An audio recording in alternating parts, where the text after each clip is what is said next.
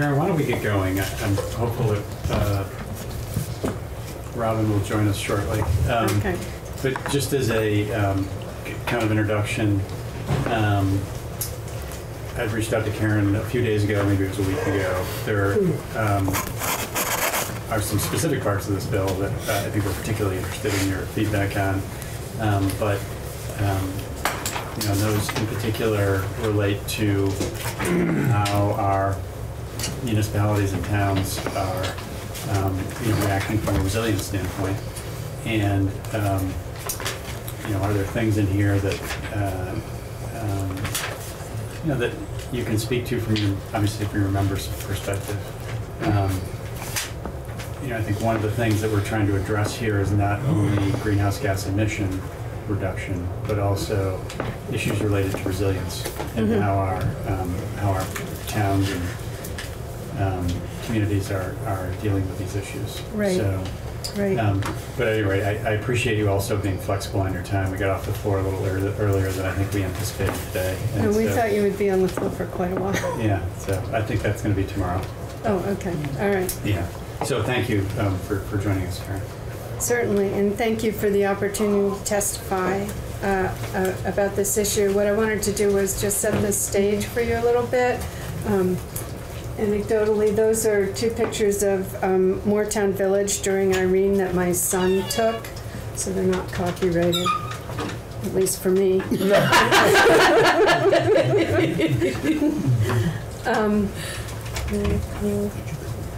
So, uh, we, the Vermont League of Cities and Towns Board voted to join the Vermont um, the Vermont Climate Pledge Coalition on June twenty-seventh of twenty seventeen. And, um, I'm sorry, I'm glasses on, glasses off, right?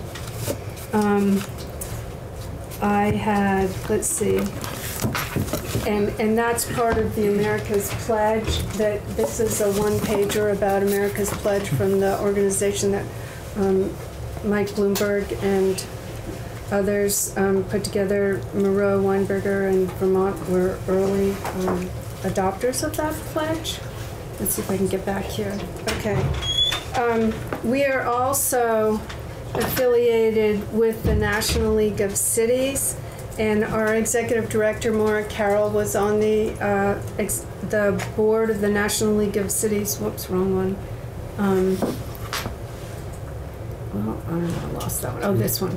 Uh, in 2018, and they've adopted a pretty um, substantial resolution on climate uh, change, which I won't uh, read to you entirely because it's several pages.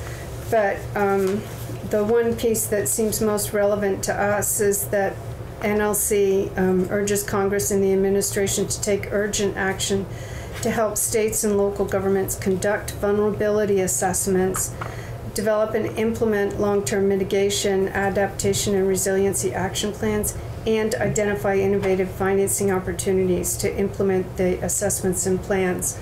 So, um, really to uh, conduct the vulnerability assessments, develop the mitigation, and um, fund the um, implementation of the mitigation. Look at that back. Where I need to be. Uh, at our last count, 130 uh, towns and cities have established energy committees, and that's actually off the VCAN website, which is hosted by the um, Vermont Natural Resources Council. Additionally, we have three towns that um, had submitted their energy components of their municipal comprehensive plan to uh, the Public Service Department right after Act 174 was passed a few years ago. Um, now you submit those components to your regional commission, and there are 44 towns that have done that to date.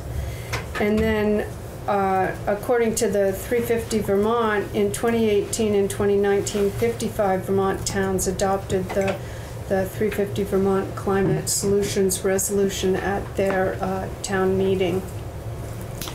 So we understand that the climate crisis is upon us, as, as Paul Costello um, so eloquently described yesterday. And we understand that it won't be solved without significant action at the state, national, and local levels and international. Uh, volunteers, which is what most local officials and citizens are, have nothing like the capacity by themselves to change the cur- current trajectory of climate warning, warming. We welcome this proposal to address climate change through the global warming solutions legislation, especially in light of the federal government's failure to act. And I think if you um, go back and look at the um, climate pledge uh, piece, which is just a one pager, but there's a whole report that you can read, or an executive summary, and the executive summary is pretty, it's quite a few pages also, so you might just want to stick with the executive summary. But um, they talk about actions that need to be taken at the national level as well as um, state levels. We do have several suggestions um, to assure that the finite resources that we have in Vermont are spent most effectively. We do endorse the prediction that, sus- that the sustainable economy of the future will provide new green jobs in Vermont. It's starting to do that, but we are very concerned about the pain that will be felt by some Vermonters, particularly in rural and less affluent areas, as we make the transition from where we are today to um, where we need to be. H 688 would establish a climate council of 22 members and attach it to the Agency of Natural Resources and Department of Public Service. Um, if climate change is our highest priority and our most urgent priority, then we really believe that any such program needs to be attached to the governor's office, where it can require action from all agencies across the state. Um, we've had experience with um, Tropical Storm Irene where that was the case. You essentially had an Irene czar, and Neil Lunderville and then Sue Minter were very effective at getting projects completed because they had the authority and the backing of the governor. And so we believe that's really important. We've also been in situations where um, agencies go back and forth and, and negotiate for who's going to do what. And I think the municipal roads general permit actually is a good example of that in recent years. Um, we suggest that the council representation include um, one member to represent rural communities and one to represent larger communities. Generally, larger communities in Vermont are um, more than 5,000 population. The average size of a municipality in Vermont is 1,200 population. I mean, we're really, really small. So um, I, I just point that out because the language at section four in the bill is introduced is a, is a little bit um, squirrely in the way it describes uh, the municipal representation. Just, just so, for my understanding, does VLCT represent one of those groups or the other? For example, is is Burlington one of your members or? Uh, Yeah, um, so, um, Miro, Miro, the mayor, is the um, chair, the president of VLCT this year. We represent all 246 cities and towns. Okay, The incorporated villages, regional commissions, sheriff's offices are affiliate, associate members, mostly so that they can get our liability insurance. We do not represent them, and we're quite specific about that. got it, okay. But, but to your point about um, representation of large municipalities and, and uh, more commonly sized, Vermont, uh, those are all under the VLCT umbrella? Yes, they are. Yeah, okay. Yeah, yeah. Just to repeat, the, the, your definition of, of large is over what population? Well, actually, it's not necessarily our definition. It's in the statute in a few Okay. places, I but it's more than The one you 5,000 quote- The one you population. cited, that- Yeah, okay. 5,000. Thank you.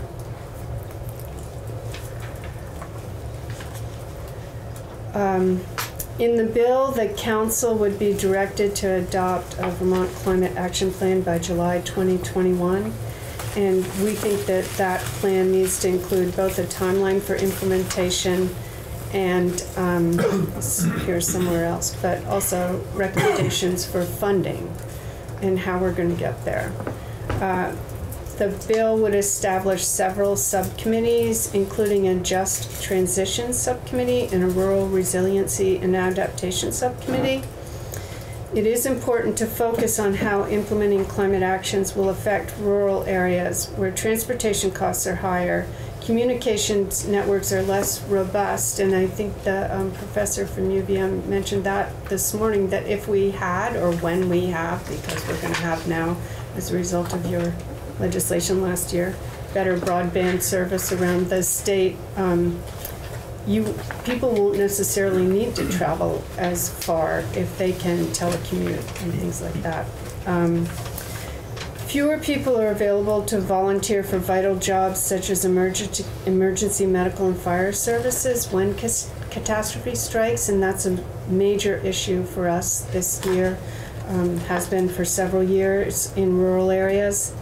And economies generally are more fragile in those areas. They're, um, you know, even if you're a ski area town, the, the ski area is the industry, and, and if anything happens to that, which may, and climate change, um, that will affect the entire community.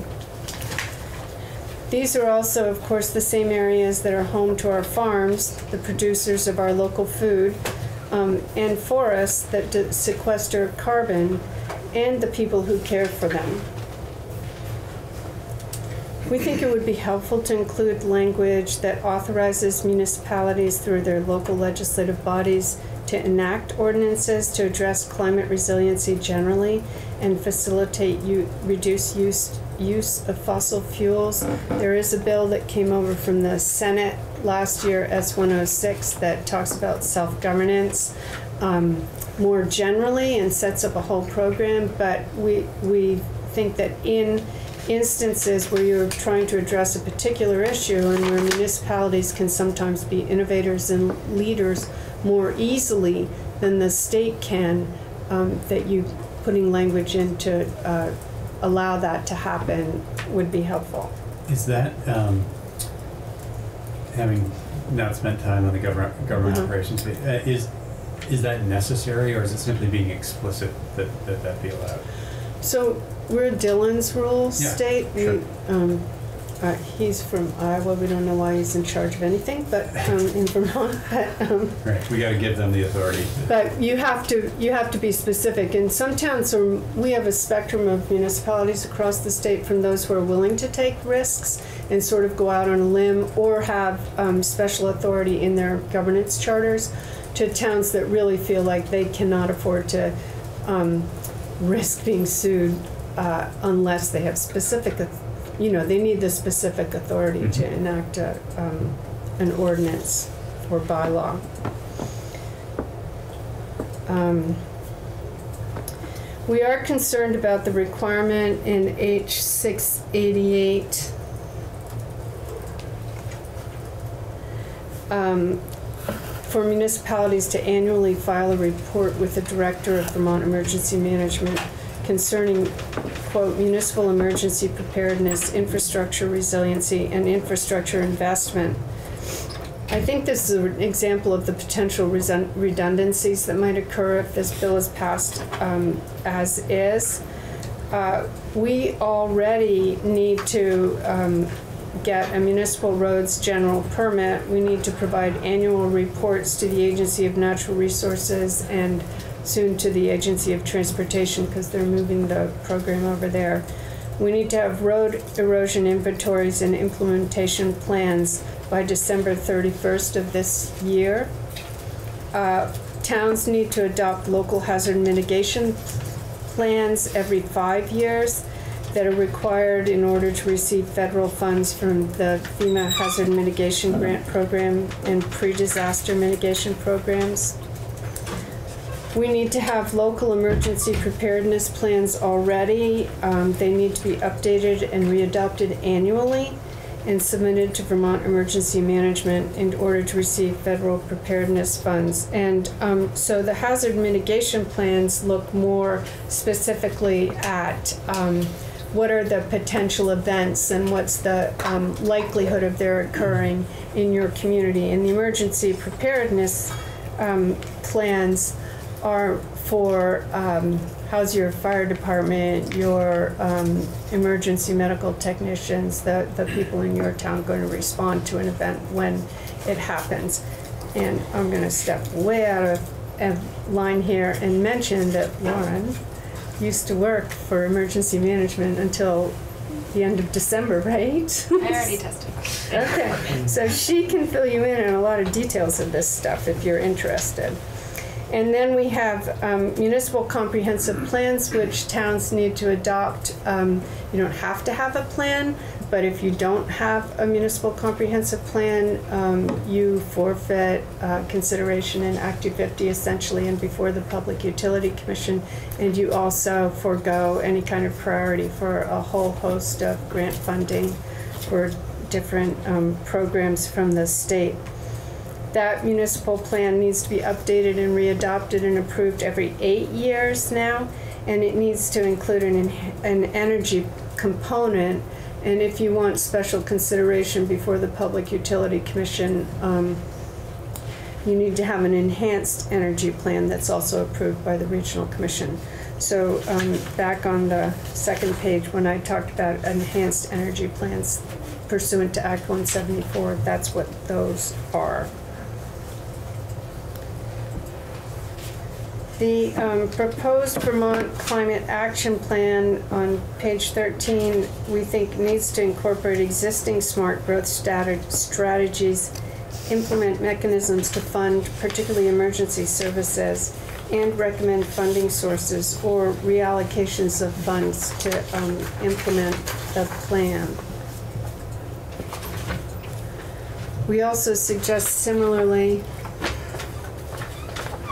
at um, page 19, section K, which talks about nothing in this section shall be construed to limit the existing authority of a state agency or department um, to establish strategies to mitigate climate risk and build resiliency. We think um, that should, they should be required to do that in concert with the climate action plan and what I'm gonna call the Office of Climate Resiliency at the governor's level. I mean, you, you, it's really not helpful to have agencies going off in different directions, um, trying to enact their priorities. And finally, um, we oppose this section providing a cause of action to any person based on the failure to adopt or update rules. Our experience, which is considerable, um, with lawsuits surrounding the Lake Champlain total maximum daily load was that a tremendous amount of money was spent on lawyers and lawsuits that could have been spent better on implementing projects to address the program, the problem. For seven years, while that um, Mess. Mess was adjudicated, Good one. She use it up there. local officials and state officials sat around and waited to, for what was going to be the final word, what was going to be required of them. And where we could have spent, um, we could have been implementing cleanup projects. People were not doing that. They were not interested in spending a considerable amount of money without knowing that that was going to be the appropriate direction to take. And we're very concerned that the same kind of thing would happen here if you had um, a, a cause of action.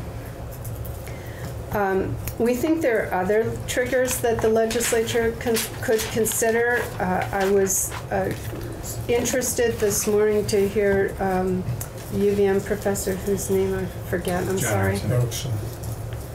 Erickson. Jon Erickson. Jon Erickson, okay. Um, Talk about binding uh, provisions and, and um, we've support, just as a, for instance, we've supported a gas tax in the past if revenues were dedicated to local transportation networks and priorities. Um, That's a tax that could be implemented if deadlines were not met. You could have that kind of a trigger.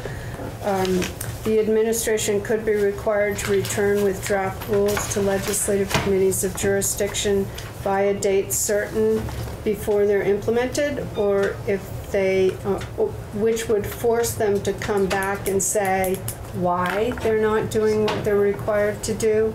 Um, This is something that was done as part of the Vermont Clean Waters Act.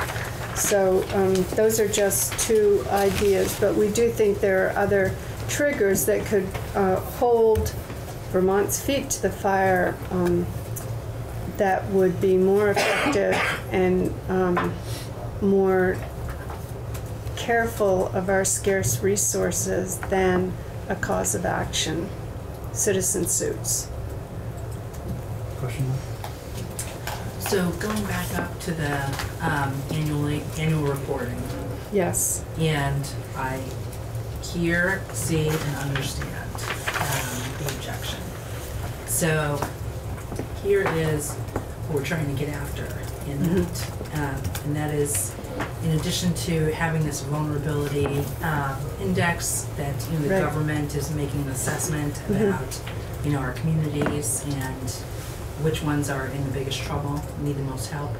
Um, there need, it seems like there needs to be some mechanism for communities to also maybe Right. be reflecting something back on that. So do you think that the hazard mitigation plans themselves, I, I mean, I'm understanding those can be hard and not all communities do Um, them. There, well, most communities are doing them, but uh, what, what we would say about this whole section is that if you're gonna require that kind of vulnerability assessment, then look at what's already required. Tell, have the council or the office or whoever, look at what's already required and ways to incorporate that into the new requirement so that you're not just layering on another report that, um, volunteers need to complete.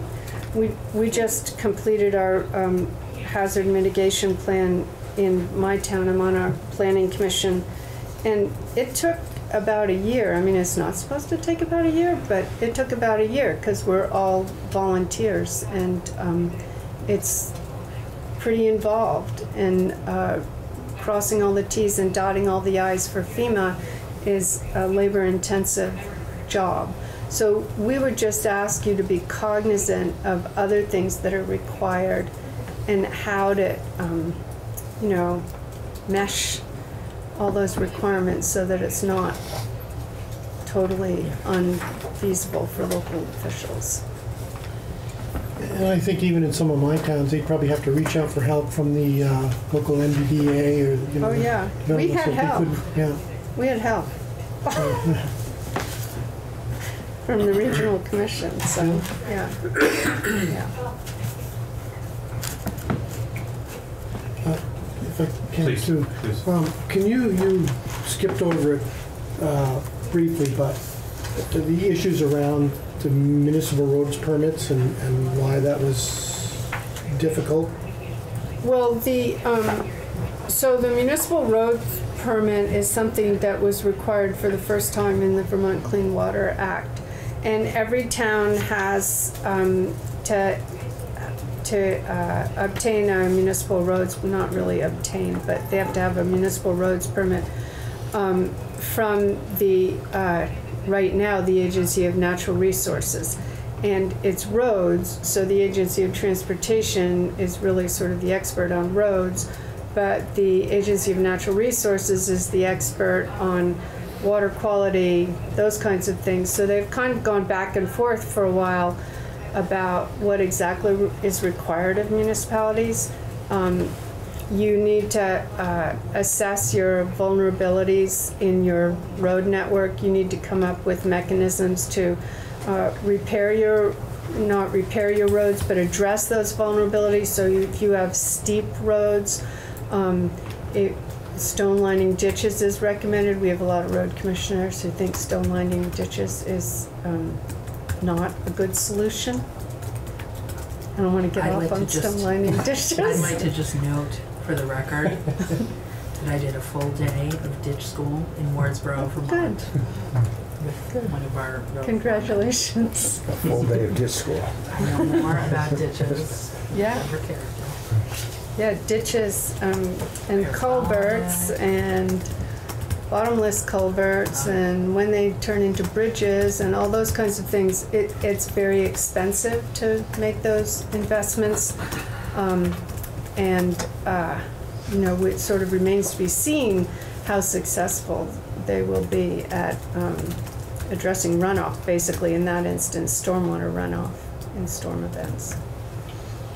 Well, Again, if I can elaborate too, your point there is that these agencies really need to be in collaboration right up front. Um, Whether it's Yeah, they- agency, yeah. And and it's the same with the ag agency and, and A and R. I mean, you know, I just heard a horror story up my way with somebody who did some cutting and got the proper permits and everything. Next thing you know, found out that it was supposedly in the wetlands. Right, So it's a cease and desist order, and I mean, it's just unbelievable. And yeah, I, you know, Yeah. so that, it's so important that, you know, all the agencies, whether it's, it's one, uh, agency or whatever that, that has the collective information to issue the permits or whatever, it's, it's critical, I think.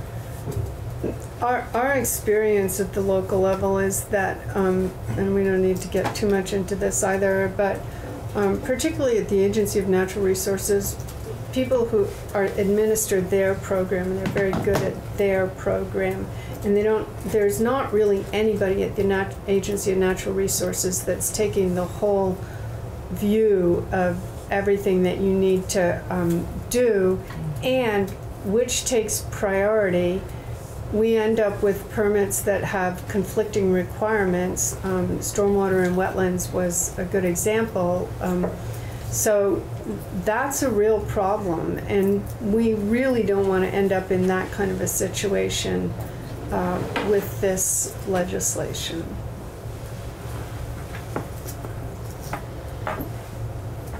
I had a question going back to your, uh, what you said earlier on about, uh, you're, you're thinking that this should be uh, coming, directed out of the governor's office rather than a particular agency.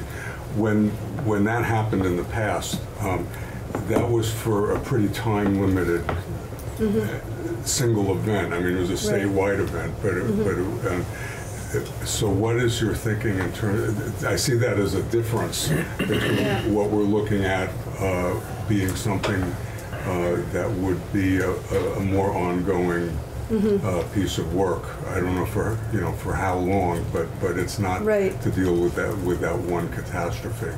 Right. So I just wondered what, Well, um, I don't know that that's, I mean, I understand the difference. I don't know that it makes a lot of difference in this context because if you're, it, it seems to us that if this is the highest priority and everything needs to feed into how are we going to address this particular problem, that the people who are directing that effort need to be at the highest level of government.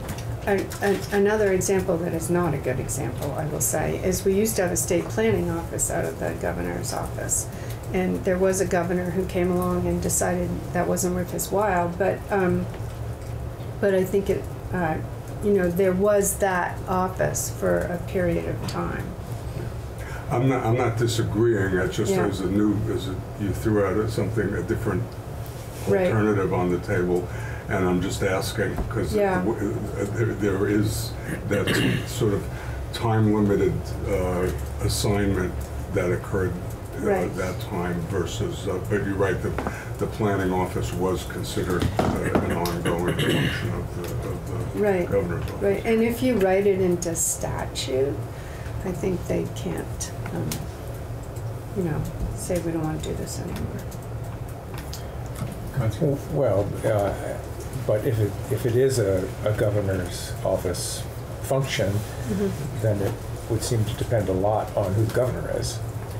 It's not, it's not, it's not sort of, uh, it's not sort of built into the, to the sort of ongoing, um, I don't know, bureaucracy is such a negative, negative loaded word, operations, all right, of, of, of state government, um, as it would be if it were uh, sort of career, career um, agency people working on it. Right, um, you, I mean, it would depend kind of how you structured it, um, as to, as to how, I mean, you'd have to talk about how to structure it. I know that it's been recommended it, that there's like an, uh, climate change czar or something, which is along the same lines. Um, and, uh, governors do change. I, I think that, um, This that, just seems like it would be more Yeah. exposed to political, you know, uh, the, the, the, know, the, po- the, po- the politics of the person in the office, Yeah. rather than rather than um, a sort of institutionalized operation of state government. I, I, I don't know that there, I mean, we could talk about that, but it seems that in some ways that it doesn't make a lot of difference because commissioners and secretaries are appointed by whoever the governor is and they carry out um, that person's agenda, so at the agency's level. But um, what we really do want to avoid is a situation where agriculture, transportation, public service, natural resources are all sort of jockeying for what they want to have happen, and in the meantime, not a lot happens. So I have the same question, uh, and I'll take advantage of you being here now. We, I'm happy to talk about it more later too. Um, Which is really a good governance question. And you have addressed this head on as as to what your recommendation is, that there be something much closer to the governor that Mhm. deal with this. Um, You know, as I've thought about this bill purely from a good governance perspective, what is an entity that can best get something done? Right. Uh, This exact question is something that I've struggled with, and I don't have strong, strong feelings that it'd be one way or the other. Mm-hmm. Um, My focus is on accountability, and um, I- these aren't my words, but, um, but I've used them, um, which is there's one neck to choke. Uh huh. Uh, Who is accountable Right. for this work getting done? Not that they do all of it necessarily. And one um, viewpoint, I think it's probably one that, that you share, or at least are closer to, is that this should be either somewhere much closer to the governor or even the agency of administration Yeah. that sits at the head of the table. Um, and, but they're not necessarily in a, a, um, a regulatory body that is, is focused on, you know, they're- have more of a, a financial function and are closer to the, to the governor kind of in that regard. Um, you know, some of the policy orientation is a little farther removed. Right.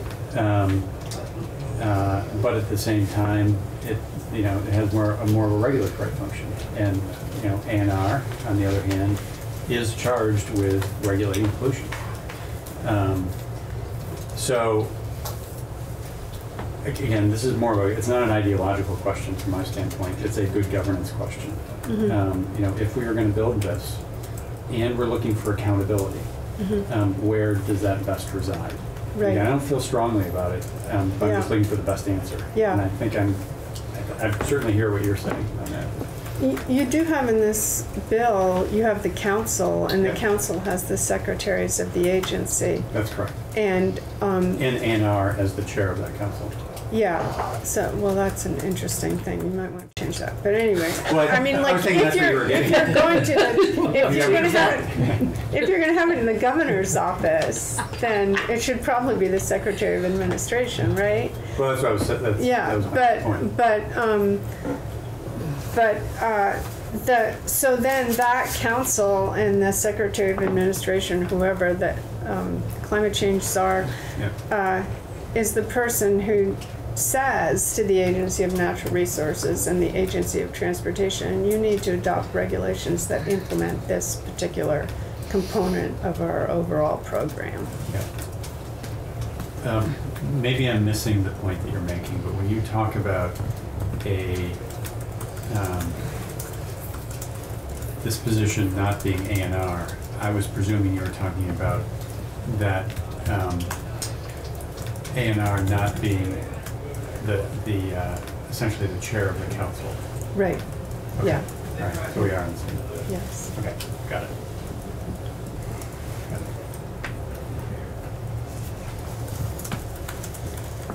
We're happy to talk to any of you about this more, or come Great. back, or answer other questions whenever, Great. so. Thank you, and thank you Thank for the you. detailed um, feedback. And so, did you have a question? Yeah, I do, Karen. Um, I know we're in the, the infancy stages of this bill, but um, is the word getting out in the municipalities about the possibility of, of all this coming down? Well, I'm writing about it on Thursday Yeah. night for Friday morning.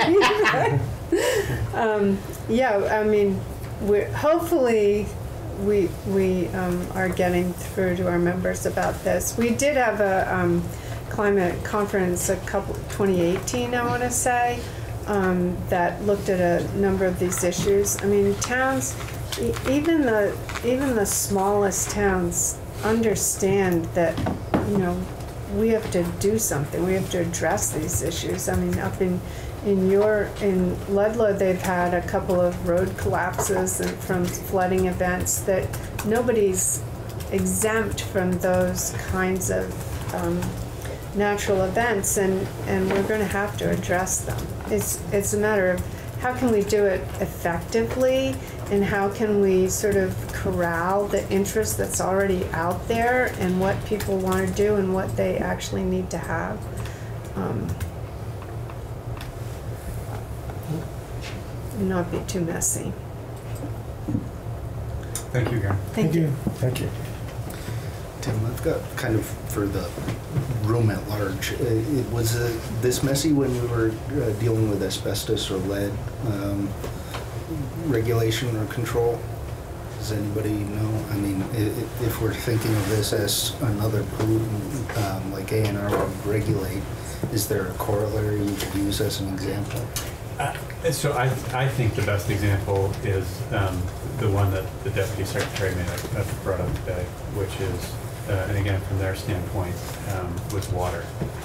um, And how the state has thought about that. Uh, That's my answer. I don't know.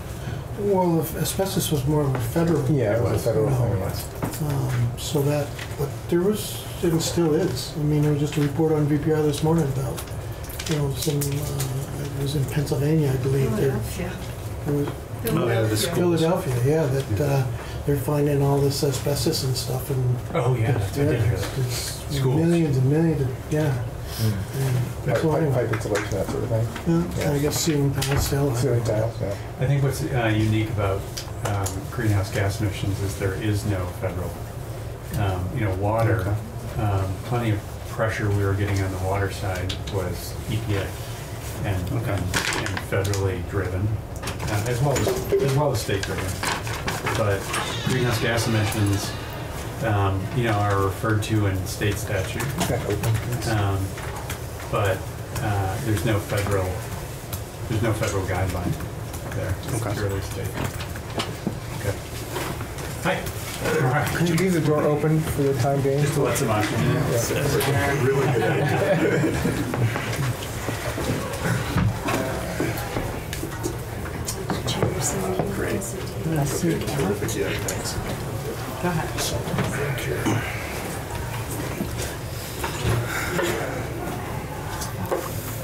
Is it okay if we have two chairs side by Sure. side? Yeah, Just absolutely. Knowing that space is at a premium, but Like one or two.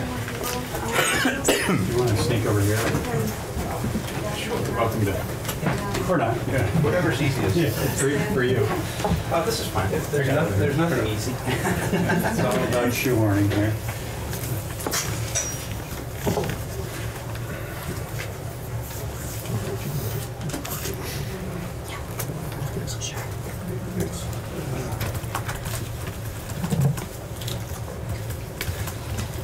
Good afternoon.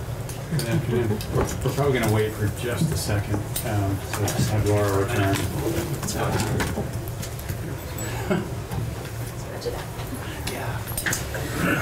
No room to jump in. no time that. Grab.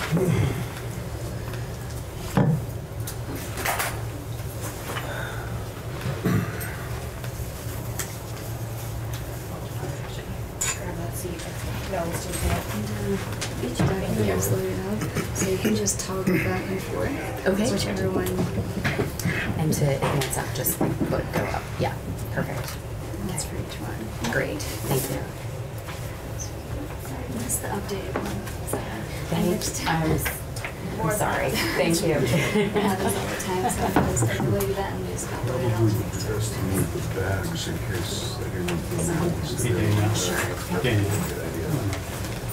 Oh, I think he just went on the corner. Okay, I just, I wasn't sure if he was headed to Tuscaloosa. Everything? Is it okay if we just leave it on the line? You had ten forty-five earlier today. I'm just gonna put them on video. so- You sure? Okay. Yeah. That one on the other side, yeah. You know what? This is your, why don't you get under the chair? You should have foot space. But thank you. Don't want crowding your space. And here comes some, I thought someone was gonna come around. Just gonna prove your point. Not cooperating.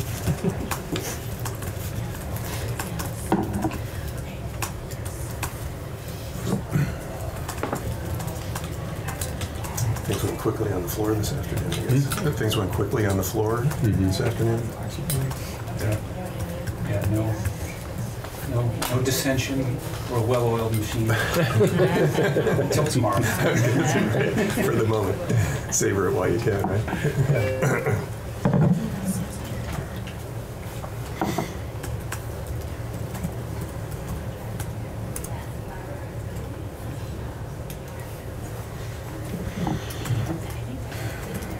When the, when the Appropriations Committee rec- uh, has voted to recommend approval of the budget adjustment for the current fiscal year unanimously, And it usually is like, well, does anyone have any questions? Pretty straightforward and a bit of an I mean, anticlimax. Most, even, even if there's a strong majority, a a lot of stuff comes out, you know, with two people voting no or something like that. And then you want to, you you at least want to know a little bit about what some of the issues were.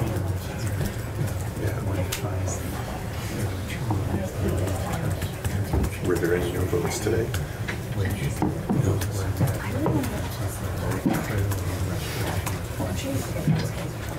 All this bliss and harmony. No, I, I, I- I write a bi-weekly report. because there's a- uh, The one that came out this week, I noted that I actually passed for the very first bill. that The first few weeks, mostly were locked in our little committee. so when it gets start- Things start coming to the floor at a committee. The very first bill was a bill But some more. Now you're pushing it. And I did, I'm just gonna grab my computer since I got he dissolution of a village government and its merger into the town. Or what the findings. Um, And they voted, In that part, you know, and but the- by law, I think the Constitution, we have to, the legislature has to come But to. again, So it's it again, like, makes sound does anybody have any questions? But that was the very, very first bill, it was a completely controversial. Build some momentum. It's something easy. We'll, we'll get there to, we'll get to the messier stuff, so, Yeah. like this bill.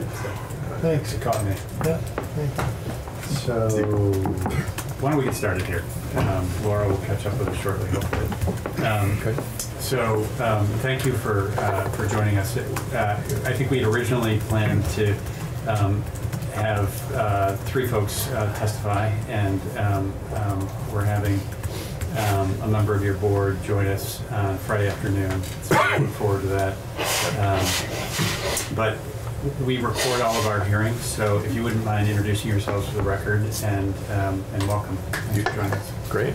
Well, thank you. Uh, Good afternoon, everyone. Uh, For the record, my name is Phil Huffman. I'm the Director of Government Relations and Policy for the Nature Conservancy here in Vermont. And uh, I know some of you, but not all, and uh, just want to say I'm really delighted to have an opportunity to engage with all of you on this really important topic. Um, And I'm really pleased to be joined today by a wonderful colleague from our Massachusetts chapter, Laura Marks, uh, who's a forest ecologist, has been with the Conservancy based in Massachusetts for 14 years, I think. Uh, this is her first time today coming to our office, so it's a moment of uh, a noteworthy moment for us. Uh, anyway, Laura is also the Nature Conservancy's uh, regional lead for New England on natural climate solutions, which is basically the role that nature and natural and working lands, the land sector, can play in helping to slow the pace of climate change. So she's a wealth of information, and I think we're really uh, we're pleased to be able to have her here and, and uh,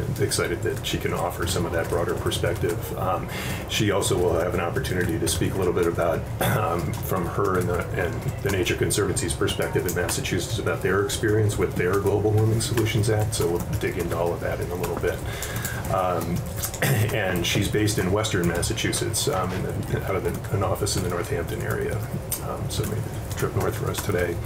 Uh, I know you uh, had the opportunity to hear from another voice, a brand new voice for us at the Nature Conservancy last week, uh, our wonderful new colleague Lauren Oates, uh, who testified um, about the resilience side of things uh, and from some of her perspective from her earlier work with the um, Vermont Emergency Management Agency. Um, so now we're sort of, we'll be shifting today and focusing more on the, the part of this around nature's role in helping to, to rein in climate change is sort of a, a complement on the other side from resilience and adaptation. Uh, and uh, what what I, what we're thinking, and I just if this is works for you all, is that I'll spend just a minute um, since this is our first time really before uh, your committee to uh, just give you a little bit more of an overview about the Nature Conservancy to uh, help round out the picture that you may or may not uh, have of us, uh, and then I'm going to turn it over to Laura to really go into some of the big picture and and uh, key points related to natural climate solutions uh, and to share some of that experience from Massachusetts with their uh, parallel uh, efforts uh, down there. And then I'll come back in and share a little bit about our perspective here in Vermont um, about all of this work and how it ties into a number of other policy initiatives that are underway, some of which I think you're familiar with, but others of which you may not, and work that's happening on our part and others that are relevant to all of this, and really how it all ties into the Global Warming Solutions Act. And I'll share, I'll sort of close with our perspective on the bill itself. Um, Does that sound like a Yep. workable flow? And we'll try to keep things moving. Appreciate this is getting towards the end of a long day in a small room uh, with not a lot of airflow, so we'll try to keep it moving. You noticed. yeah, yeah, I can already feel it. Uh, you know, uh, so just by way of uh, rounding out a little bit of what Lauren said in her testimony last week about the Nature Conservancy, um, as you may or may not know, we're a global conservation organization uh, dedicated to conserving the lands and waters on which all life depends. So that's human life, as well as all the other species of plants and animals and everything else that we share this planet with. Uh, one of our hallmarks everywhere we work here in Vermont and elsewhere is that we're science based. So we try to gather the best science that we can, either science that we develop or that we gather from others to inform our own conservation work and to also help to inform the work of other conservation nonprofits, governmental agencies at the local, state, federal, and global level, uh, that sort of thing. So science is, is a really uh, critical hallmark of ours. Guided by that science, we really work on trying to create innovative on the ground solutions to some of the biggest challenges facing people and nature and the planet. Uh, certainly, climate change is at the top of the list, but it's by no means the only one. Habitat loss, uh, things like that, or water quality issues. Uh, those are examples of other big problems that we're working hard to uh, help to address.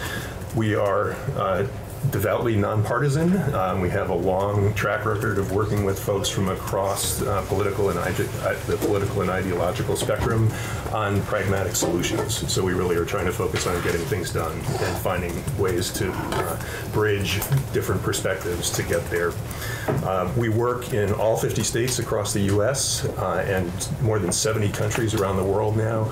Uh, and here in Vermont, happy to say we're celebrating our 60th anniversary this year, actually, now that it's 2020. Uh, so we've been at it for a while.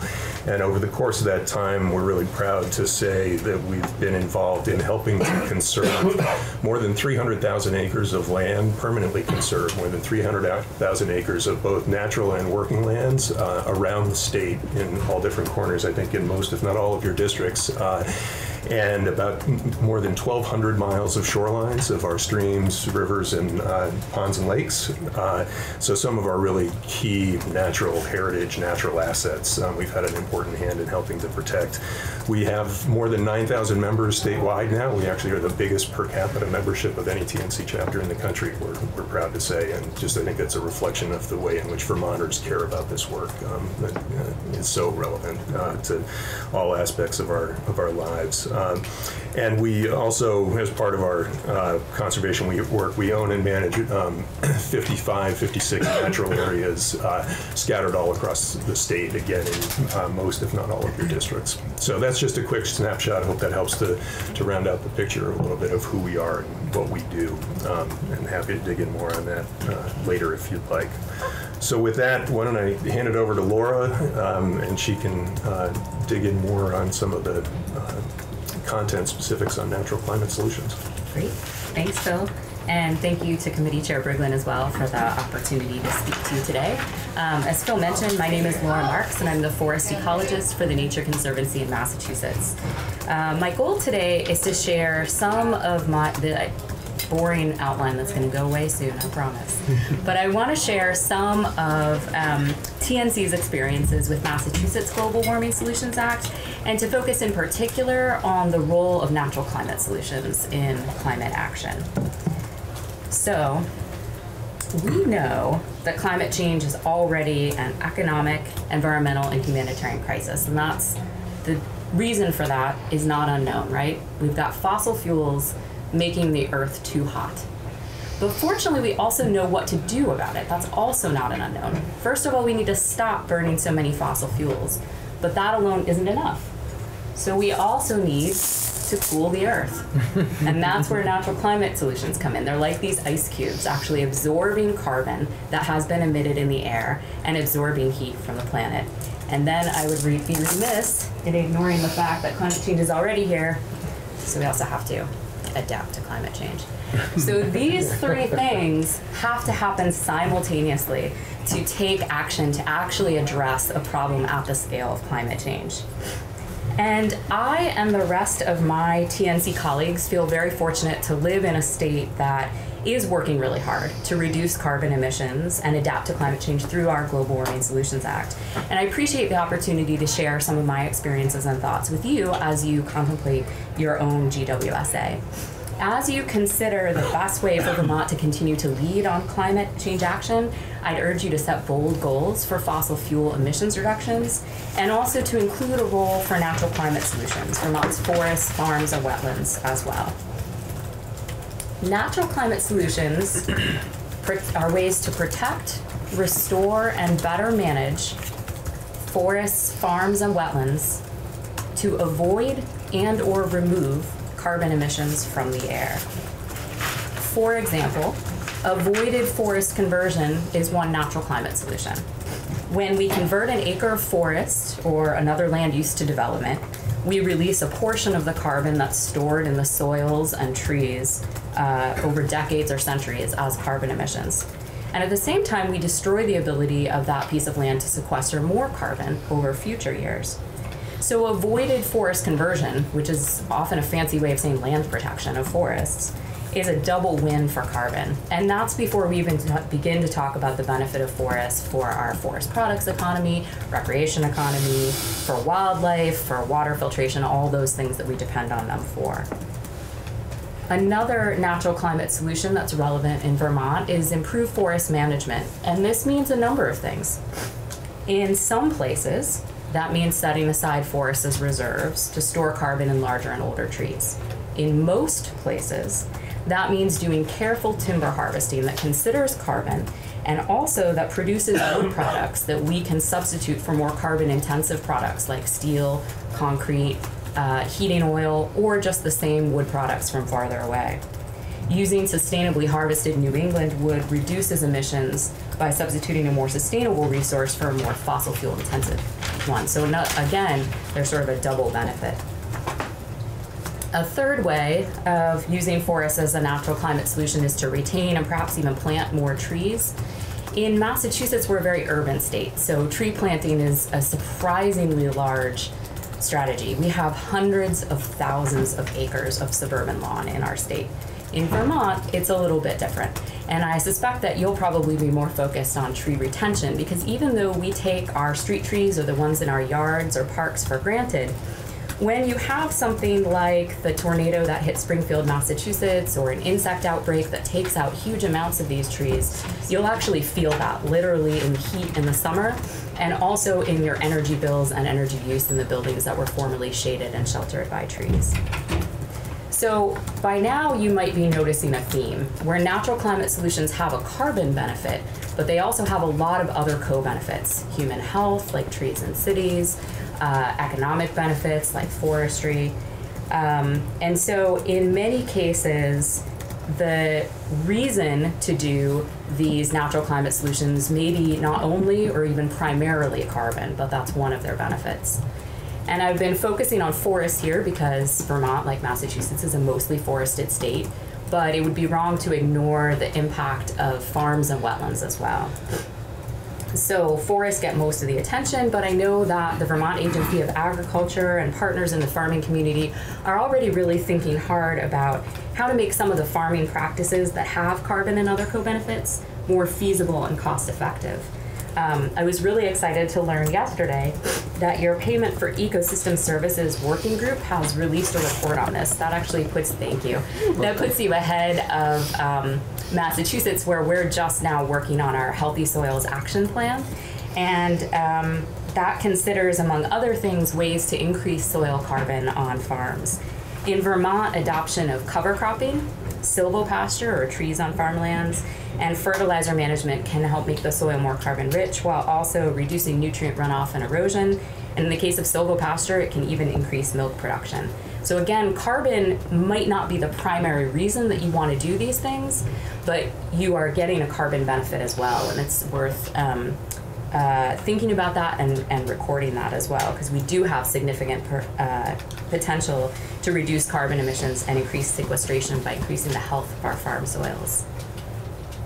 And then finally, wetlands. If farms are overlooked, wetlands are even more overlooked. Uh, wetlands store an outsized amount of carbon for their size. They're a very small fraction of the landscape, but they can store, in some cases, um, many decades worth of carbon.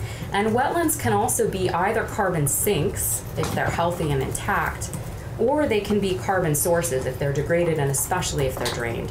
So it's really worth thinking about the health of your wetlands, thinking about restoration of wetlands again for a range of reasons, including wildlife habitat and flood prevention, but also so that they continue to play that role of sequestering carbon in soils year after year. So we have some very good estimates already of the potential of natural climate solutions in Vermont. And although there are differences in which, in our two states, in which natural climate solutions work best, for example, city tree planting is a big strategy in Massachusetts, while improved forest management is a bigger opportunity in Vermont, taking full advantage of climate solutions like those I mentioned can avoid or reduce more than a million metric tons of carbon dioxide equivalent each year at low cost.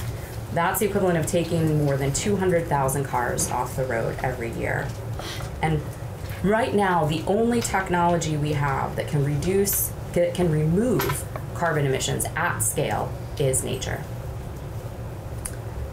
So hopefully that's a little bit of information about natural climate solutions and the potential in Vermont. I wanted to move on to sharing some lessons learned from our experience in Massachusetts that might be useful. So, from the perspective of TNC's Massachusetts chapter, we're pleased with the greenhouse gas emissions reduction and the smart policies and the change in the narrative around climate change that have come from our Global Warming Solutions Act. It's absolutely been worth it. And we're mostly on track to meet our 2020 goal. So these figures are as of 2016, and Massachusetts has reduced emissions by 21% below 1990 levels. There's a study happening right now that will figure out whether we're projected to meet our 25% goal, but they're actually running the numbers this year, and so we'll know by the end of the year whether or not we met that initial 2020 goal. I think some of the biggest successes from the Global Warming Solutions Act have been around public private partnerships. And this is one where I actually had some personal experience. So many years ago, I was eligible to enter a lottery for weatherization of my 1910s era, very drafty, poorly insulated house. And that was a state run energy efficiency program. But the only reason I knew about it was because there was a local nonprofit that was advertising, there was a local company that was doing the work. And so programs like that are really effective. I got insulation for my house, which is a real benefit to me. Meanwhile, the state got me using much more, much less energy every year. So they got very inexpensive um, emissions reductions. And again, if the state had done it on their own, I think it might have been hard for the average person to figure out, you know, where do you go for information? How do you find out? But by working across that public private partnership, they were able to get a program that was wildly oversubscribed and successful. Another su- success, I think, was that we've really aimed big. So, um, right now, where Massachusetts is in the process, our law actually set emissions reductions goals for 2020 and 2050. It didn't set them for 2030 and 2040, it left that up to another process. And we are in that process for 2030. There's a study right now that I think you'll probably hear more about from David Ismay and Han Chu um, called the 80 by 50 study. It's essentially how do we get to 80% emissions reductions by 2050 and what, and given that path, what's the right goal to set for 2030 uh, and what policies do we need to get there. Um, with more than 10 years of putting the Global Warming Solutions Act into practice, we're actually thinking potentially beyond that. You know, looking at can we get to more than 80% emissions reductions?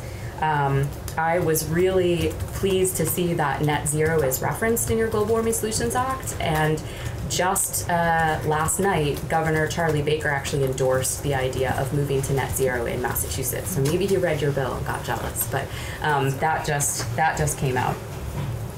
Um, and then finally, I think another big su- success was really including adaptation in the bill. We have an executive order, EO 569, that ensures that any action taken under the Global Warming Solutions Act can't be sort of maladaptive, especially for underserved communities. So it's a recognition that the impacts of climate change are already being felt, and they're being felt most immediately and most acutely by our communities that have perhaps the fewest resources. And there's also an adaptation plan that's part of the Global Warming Solutions Act. So there were a lot of efforts to really make sure that uh, climate change mitigation, emissions reduction, and adaptation went hand in hand. So what's interesting is that I think we did adaptation really well, and that certainly has a role for nature-based solutions, using nature to solve problems like flooding and um, stormwater management. But um, despite that integration, I think one of the places we have the most distance to go is in fully incorporating the role of natural climate solutions in our Global Warming Solutions Act. And that's probably my biggest lesson learned to offer you from the experience in Massachusetts. After you pass your Global Warming Solutions Act, which has all the language you need, as your climate council begins to implement it, I would encourage you to think about lands as a sector. Lands are both a carbon source with actions that can, can be taken to reduce emissions, and they're a carbon sink with actions that can be taken to sequester even more carbon. I think in in Massachusetts, carbon is in our baseline. Natural carbon is in our 1990 baseline, but from every point then on, it's treated very differently from all the other sectors. And I think that had we integrated those more from the beginning, we could have saved ourselves some headaches. For example, now in the 80 by 50 study, it's very hard um, to sort of fully bring in lands when we need them to meet our emissions reduction goals. And I think we could have saved ourselves also some controversies over solar siting and other aspects where, because the intersections between buildings and lands and energy weren't fully considered, um, there were there were some policies that, that people feel maybe were counterproductive to one or the other sector. So, to sum up, um, you know, nature has a role to play. The biggest action we need to take is reducing fossil fuels, but natural climate solutions are a meaningful and necessary part of acting on climate change. And if you don't believe me and Phil saying that, you can read the IPCC report or the drawdown report, like every plausible path globally and at the US level to meeting, to really addressing climate change includes going backwards in emissions. Um, and that's what I have as number three here. There's also some really simple math. 415 parts per million carbon dioxide is about what we're at now. I looked, I think it's 417 now. It keeps going up, of course, but 415-ish plus zero doesn't get you to 350. You really need both to reduce emissions and to go backwards.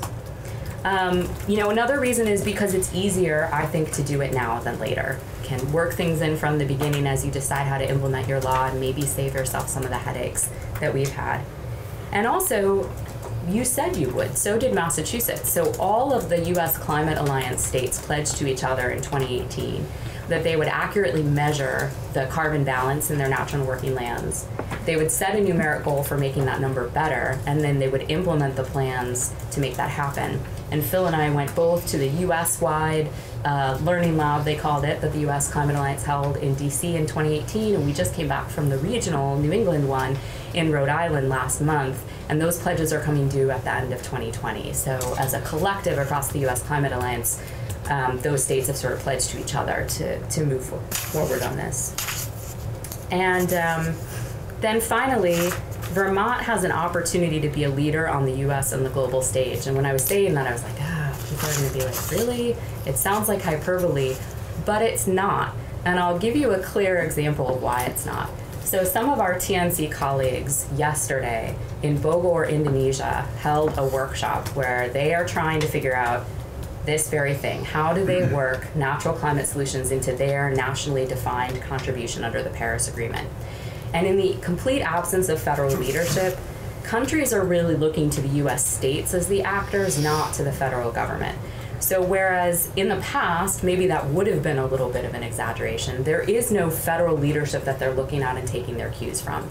They're looking at what Massachusetts is doing, at what Maine just did, at what you guys are contemplating doing, at New York, at California, at Maryland, Pennsylvania, Illinois, and trying to look for examples of states which are much more analogous to them than the US right now um, and take their cues from that. So I think it's really exciting that you guys are contemplating passing the Global Warming Solutions Act. Um, and hopefully, this has helped just a little bit in thinking about the role nature might play as you implement that. Um, I'm going to hand things back over to Phil, but then we're, we're happy to answer any questions that you guys have. Yeah. Thank you. Thanks, Laura. And, and I think we can pause before I resume if you want, if any of you have questions for Laura at this point. Um, just I, to I have plenty. Break, actually. break the flow? or- Yeah. but- So I don't know, however you'd like to handle it is fine with us, I think Why is why don't I we need to say. go ahead and, and, you know, bring your presentation to a conclusion and then we'll jump in, if that's okay with you. That that Sure. sounds great, whatever works best for you all. Okay.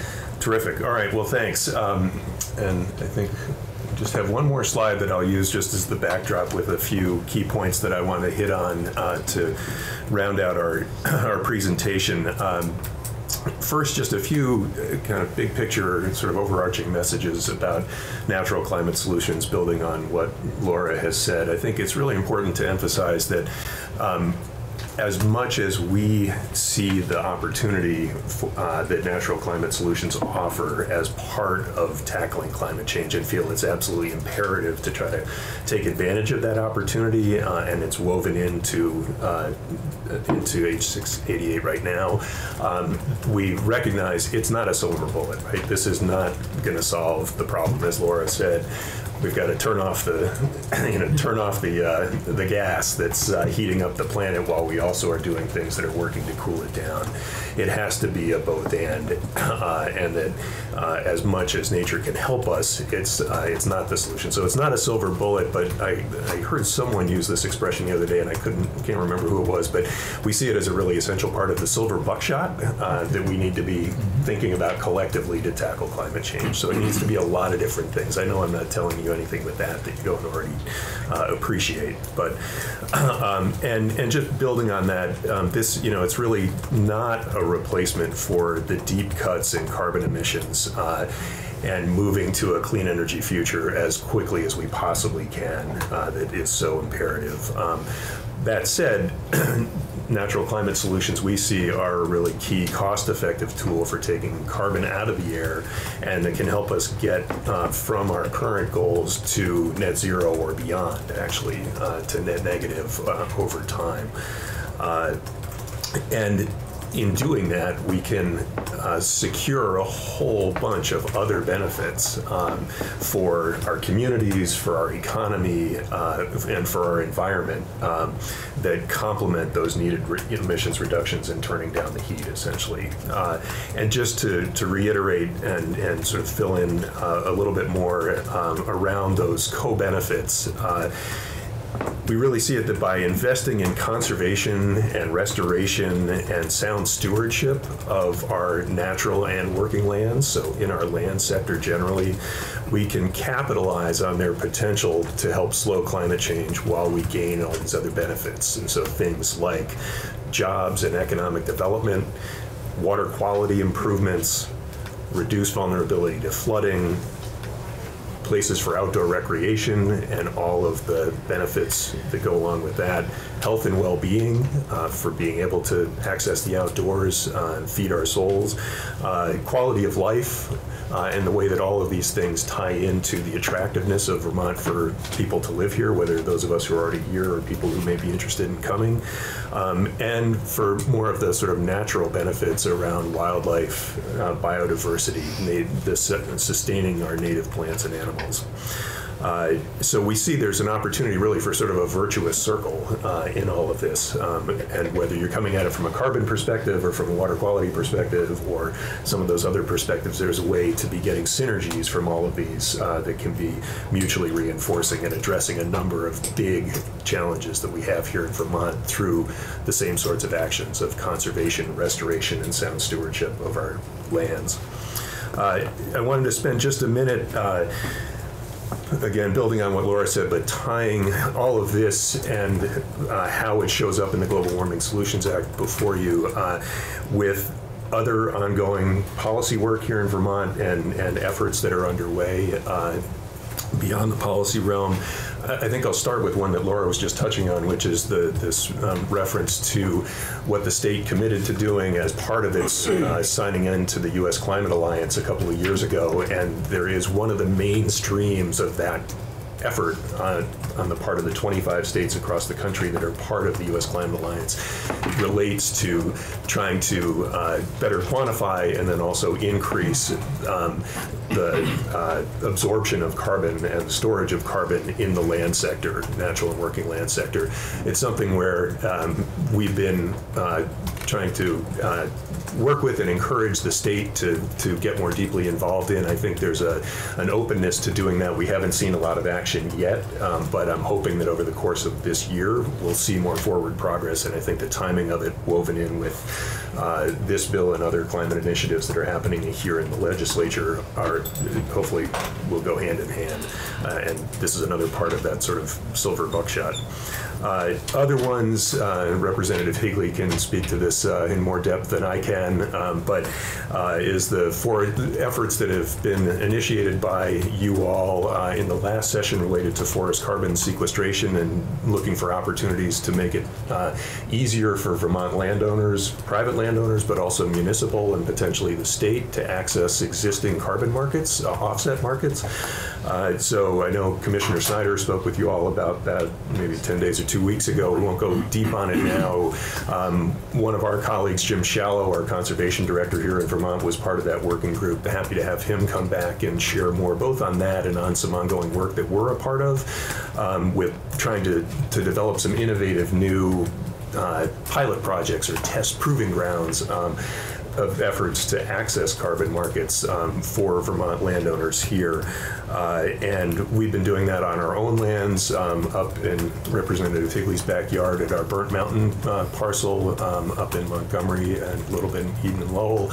Uh, and then also we're in a collaboration with the Vermont Land Trust, um, again in that same neck of the woods with private landowners, uh, trying to figure out how to bundle a number of different private land holdings together into a package that's big enough to access, have sort of the economy of scale to access existing voluntary carbon markets.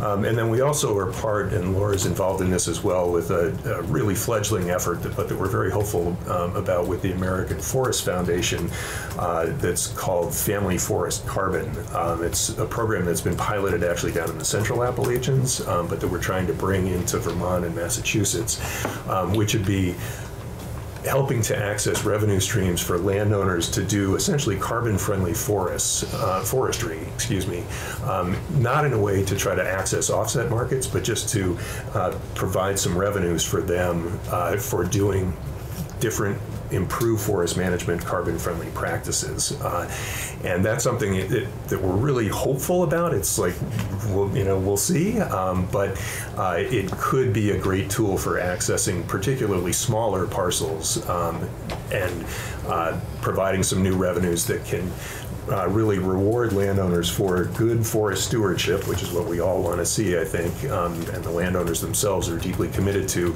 helping them keep their lands as forests, and so that where we're helping to sustain that carbon sink and not getting into a situation where they're having to sell their lands and convert it and risking the carbon source that that can result in. And and where would those revenues come from? Well, so uh, Laura, do you want to help out, or for the pilot, they'll come from a grant. So we have a grant, um, as you so often do when you do the first ones, you kind of have money lined up. Um, and it's western and central Massachusetts as well. Southern Vermont is the pilot area where we're trying to port what they did in the central Appalachians and move it up. After that, it gets a little more complicated. Massachusetts has a state policy program that seems like it might um, be a it's it's a version of our current use program. I think you guys call it current use appraisal, and we call it chapter yeah, and we call it chapter sixty one. So it's kind of an add on to that.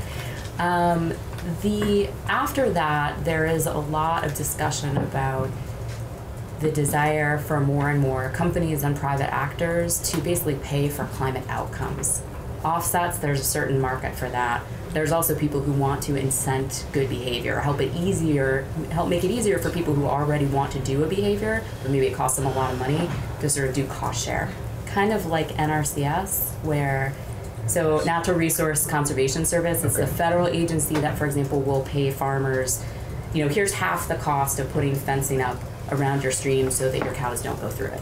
Um, so it's not an offset, it's a payment for a practice that they know has benefits. In this case, it's payment for practice we know has carbon benefits. But as Phil mentioned, um, these things are also i think we're very committed to being open about whether or not it works. You know we're trying it out.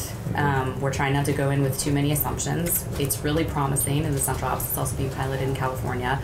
But if at the end of the day we can't make things work in this region we'll report that back and you know look for the next opportunity Well, It sounds like you, you have to have uh, either, either government revenues or, or a foundation to support something like this. Well, the model of the central apps is um, more about private companies and like supply chains, and there's a whole complicated thing that's over my head about how you set that up. Um, some of the big tech companies have made enormously large pledges. Now, those are on paper. I don't know mm-hmm. that they've translated yet. And our carbon here is actually really attractive because we don't wood, have fire the way they do in some other mm-hmm. parts of the country. And so when people pay for practices here, they're not quite as concerned that it's going to go up in smoke the next year. So again, there's economists with much different expertise than I am who have like worked all the things out and they show it to me and I'm like, that's great. We're really trying to be like, let's put it in practice on the ground, come up with a practice, see how much they cost, see who signs up, and figure out whether that that sales pitch that they're doing in the central apps, you know, works here. So yeah, Well, it's not, not to to belabor the point, but I mean, they're not getting, the, the companies that would be fronting the money for this aren't getting anything. They're not getting carbon credits or anything. They So- are. They are getting climate. That's what I'm trying to get at. Yeah, so there are companies that are going for carbon offsets where they're like, we want you to figure this out to the nth degree. And that's fine, and that's one set of markets. But there are other actors, including companies, including some of the big forestry companies, including things with big supply chains, that are basically saying, we want to make, we want to take climate outcomes. We want to improve our, our supply chain. We want to show we're taking this seriously. We want the goodwill. We want the marketing. I mean, there are all sorts of things that they're getting, but what they aren't getting is this is your carbon that you're allowed to emit. That's that's sort of the difference. It is also worth noting that we think that one or two of the practices we're developing here probably will work in that offset market. So for that one, the funding might come from offsets, but there will be others where it just doesn't fit the the market doesn't work very well often for those small private mm-hmm. forest landowners, and that's just a different sort of thing. Again, these are also questions we're asking about how many of these companies and how long is their attention span and how much money and Right, right, right. exactly. Okay. So these are good good questions for sure. Definitely. And I have a handout about this Family Forest Carbon uh, Program, high-level overview that I'm happy to pass out when we're done. It's also, uh, Danielle has it for the record, um, that may help to answer this a little bit more. And also, it, this could be part of a follow-on conversation if you have the interest in a time later where we could get Jim Shallow in to uh, dig deeper on this and on some of the carbon offset work that we are doing on our own and with Vermont Land Trust and, and others um, with the state and things. So, One other question on this, or is it similar to flight shaming? Uh, So there's uh, an effort out there from a lot of people, Right. whether it's, they feel bad that they've taken Right. a air flight, or there was even talk in our committee about, you know, uh, requiring uh, vehicle sales places to have some form of a, a program around that, but Right. It's I a feel-good thing in a sense. Um, yeah, that's a that's a real. I'd have to think that one through. I mean, I think the pitch to companies would not be so much like you're doing bad stuff and so you should do this, but more here are these small landowners who know what to do and want to do it, and the numbers just don't work for them. And you have the opportunity to show that you're helping that and you're taking climate change action and you get the marketing and whatever other benefit, you know, you get to take out to look at it. Like, it would probably be individual for each funder. Um, but I know that in the central apps, it's much more as a, it's being much more pitched as a, you said you took this seriously. Here's one way you can act. Um, it's a way that's carbon additional. So those offsets, it's not just being emitted somewhere else. It's a brand new thing that wouldn't happen without you. Um, so it, that's, I think, more the argument. But I, I'll think more on. That's kind of an interesting parallel that I haven't thought about. I mean, I guess there's more than one ways to talk to the companies about it. But um, I, for now, it's I think is a, a much more positive like. You know, you know this is a good thing. You want to get credit for doing it we can work together on this sort of thing. Yeah, and I think, it, yeah, I appreciate the question, and uh, this is, you know, it's all complicated, as you know, from the, the working group, which is focused on the offset side, this is a little different, but um, in either case, I think it's not just feel good, it's about real additional carbon, Yeah. um, whether it's happening through practices or through a commitment to be doing, uh, changing practices for a certain period or whatever. Um, And so there is, uh, you know, again, some real uh, carbon change that's a result of the uh, payment that's happening, um, whether through an established offset market or through this fledgling idea that we're trying to uh, see if it works, basically. And I suppose as one real life example, so yesterday Microsoft pledged not only to go to carbon neutrality, but to remove the carbon that they had emitted over their business practices. That's a little different than an offset. So something like, I mean, I don't know whether they have plans yet for how they're going to get there. They just put the pledge out and they'll figure it out later. But something like this would actually be about removals of carbon from the atmosphere in a way that an offset wouldn't allow them to say that because it's about the carbon they're emitting over here being absorbed over here. So again, it's such a rapidly shifting it's one reason why I think the pilot did require a grant because we need to have the money up front to sort of show, okay, we got this, we'll test it out. But those are the kinds of things that we'll be trying to think about as we as we move on in the pilot as potential funding sources. Thanks. Robin. Uh, So the forest carbon markets are, their value is on the, the increased carbon storage, right? Between current practice and, and uh, future storage and sequestration. Is that, is that right? Yes, so it's about that additional carbon. So it's that that's where the Yeah. the payment is for that additional carbon over time, and with a commitment uh, to sustain that carbon over the duration of the agreement. Well, but there are also there are also offsets on the forest conversion side. So there's avoided Oh, true. there's actually avoided there's both. There's avoided loss, like this would have been converted from a forest and this carbon would have been emitted. And then uh, you're exactly right, Phil, that sort of this is additional carbon that's sequestered because you paid for some action to be taken.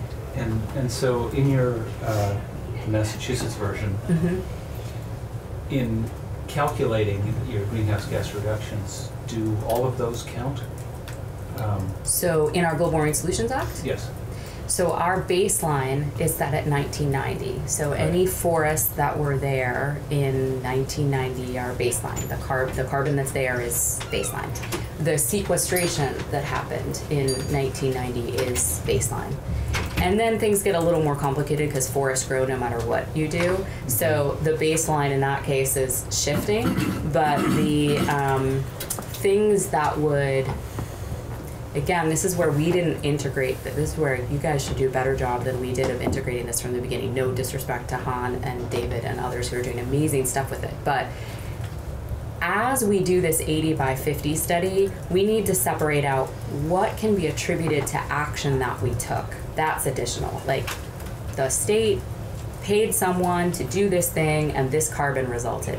That's that's not baseline. That's additional. That mm-hmm. is something that could count. What can't count is good news. The forest grew. Like we didn't do anything to create that. So that's still that's still baseline. And as you can imagine, it gets um, a little bit challenging when you're actually measuring it. But the good thing is because we've measured forests for wood forever, we have really good data going back very far from the U.S. Forest Service and lots of other sources. So it's possible to go back to a 1990 baseline, a 2005 baseline, or whatever you need, uh, and then look at what's happening now. And one, one other question, then I'll wait for the next round. Yeah. Um, Are, uh, um, are things like biochar being explored Yeah. as a storage? That's so funny because so earlier today, um, I met with Jim Shallow in the Vermont office, and we have, as part of our Family Forest Carbon Program pilot, on February 11th, we have our first stakeholder workshop about forest carbon practices. And so I've been working with some staff from the US Forest Service and Jim and others to scour like all the lists anybody we know of has ever put together about this is what carbon positive forestry means.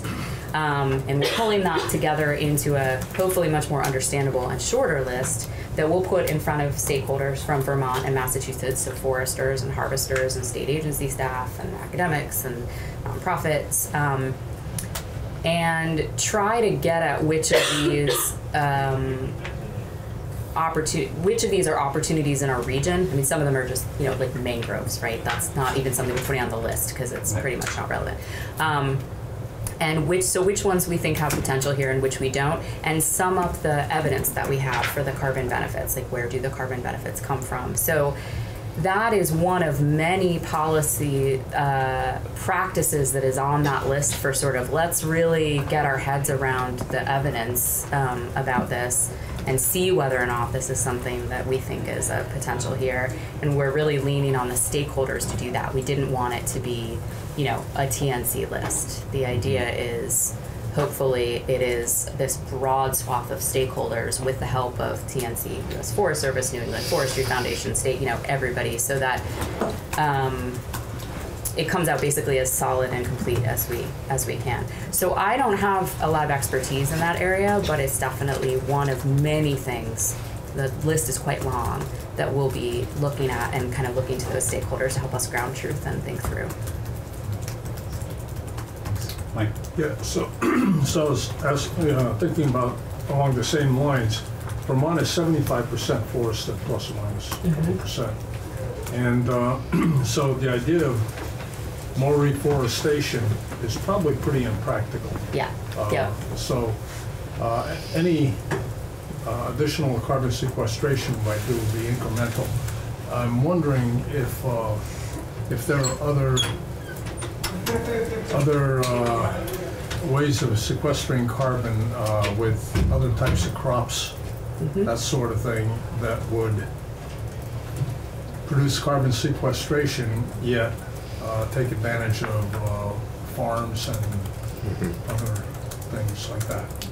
Yeah, that actually is a great uh, tie-in to uh, my next point on, on the list, so maybe I'll build off of that. On the forest side of things, I um, generally agree that, you know, we are largely forested, that our forests are generally well-managed, um, and that, uh, but there are some opportunities for reforestation, particularly um, in riparian, river, riverine areas, floodplains. The, historically, there were uh, our floodplains were covered with floodplain forests, um, and much of that has been converted, and for important reasons, for agriculture in particular, among other things. But there are now, especially with the changing precipitation patterns that we're seeing and the increased frequency of larger floods, um, there are more ag- low-level, low-laying ag lands that are becoming unproductive, and there's an opportunity for working with farmers um, to take the land that's now marginal or really no longer viable for uh, sustained ag production um, and restore forests there for carbon benefits as well as water quality benefits, reduce flood vulnerability, habitat. It's this sort of whole suite of potential benefits. It's again, this is not like going to be the the big lever that's going to solve all our problems, but it's another important. Uh, modest piece of the picture. On the ag side, um, what you're getting at, I think, is exactly in the wheelhouse of what Laura alluded to before, which is the um, what will be, I think, an ongoing effort of the what's called the Payment for Ecosystem Services Working Group that was authorized in Act 83 last spring.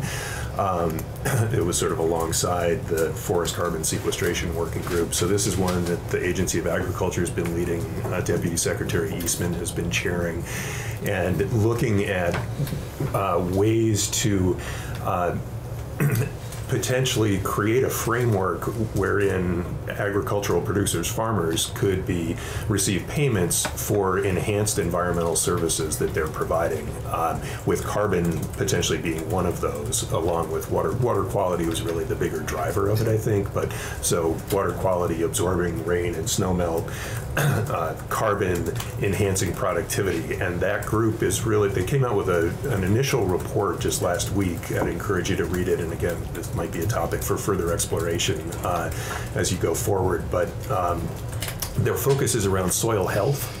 Um, and that essentially healthy agricultural soils um, can uh, absorb more carbon and provide those other benefits, including increased productivity. And it does mean or sort of tie into some changes in practices and crops and things like that. There are others who are much deeper, more deeply steeped than I am in the specifics of all of that, but that's sort of the concept. Um, so I and I think it points to how the ag sector is a really important one to keep very much in mind. Again, as like another bit of the silver buckshot uh, here. I'm not going to solve everything, but we can make some meaningful improvements for carbon as well as for all these other important values.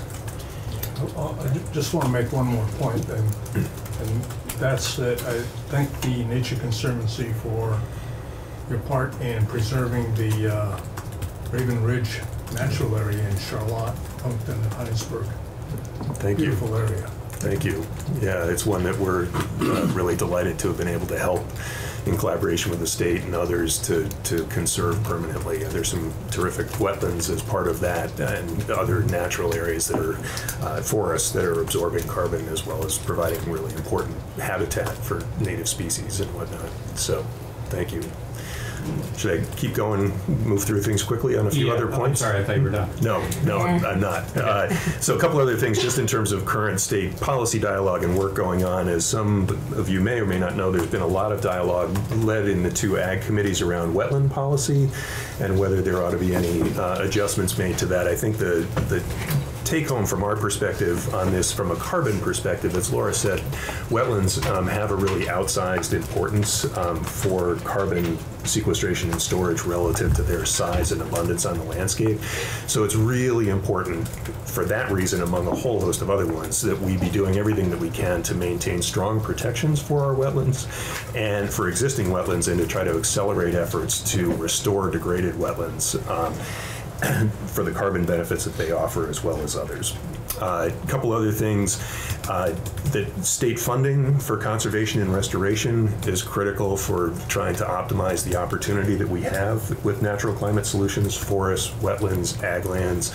Uh, and those are the two big ones, I would say, are funding for VHCB and also water quality funding. Uh, and there's some um, important, significant levels of investment there, but there's never enough to do all the work that might be needed to really tackle those problems for their, uh, for a whole host of reasons. But carbon is an important layer to consider as we're thinking about the scale of those investments.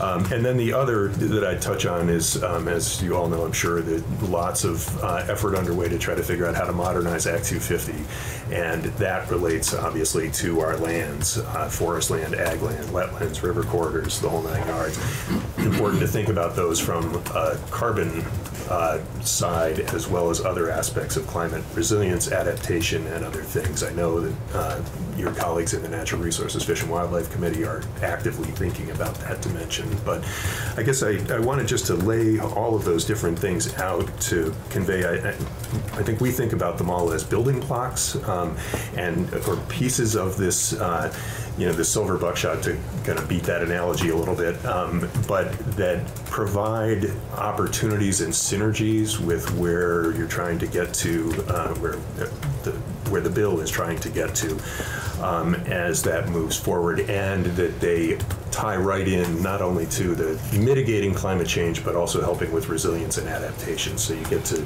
weave all of these together through natural systems. Um, let me just wrap up quickly with a few quick points on our take on the bill itself. Um, our position. For starters, want to be clear that we strongly support uh, H60 688. Uh, we see it as a really important foundational framework uh, for propelling the rapid progress and accountability that's needed uh, for Vermont to be doing our part in reining in climate change. And it's an opportunity for Vermont, for Vermont to reclaim and reestablish leadership in this realm that we've been falling behind on um, in a broader than Vermont context. Um, so it's not going to solve all of our problems either. I think that was coming up in the testimony this morning with Deputy Secretary Walk uh, and the questions or points that were raised about the Transportation and Climate Initiative and trying to you know figure out a way to really rein in emissions from that sector. You know, we need to be coming at this from a whole bunch of different directions, but from our perspective, we see Global Warming Solutions Act as one critical piece of that puzzle. Uh, we I want to highlight and, and, just appreciate the language that's in the bill right now that recognizes the role of natural systems for mitigation, so the natural climate solution side of things, and for resilience and adaptation.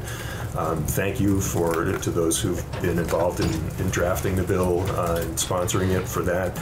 Uh, we support the provisions related to the alternative reduction mechanisms, uh, as they're called, and, and offsets uh, to achieve net zero emissions after 2050. So again, that ties right into what we've been talking about today. So glad to see that there's uh, some good language in there, and it's uh, beyond what was built into the Massachusetts example. Um, we do have a few what I, I would characterize as just minor suggested revisions um, that I'd be happy to offer by red line or to talk with ledge counsel or whatever might be easiest. It's around things like consistent reference, where there's reference to lands, to have it consistently referred to natural and working lands as opposed to just natural lands or just working lands or you know, some other combination of those. Um, and to incorporate uh, adaptation and resilience provisions at each step in the process. So in the, the, development of the plan by the council and then by the agency as they're promulgate, promulgating regulations. Um, so it looked from our read, again, like that the adaptation and resilience provisions might not track through quite in all of those. So happy to talk about that. Um, and then one last one is just also uh, in the resilience and adaptation provisions, um, acknowledging the importance of uh, really are helping our natural systems to adapt and be more resilient to the change that's happening along with helping our human communities adapt and be resilient to the climate change that's coming. So we're all in this together with the natural systems we depend on.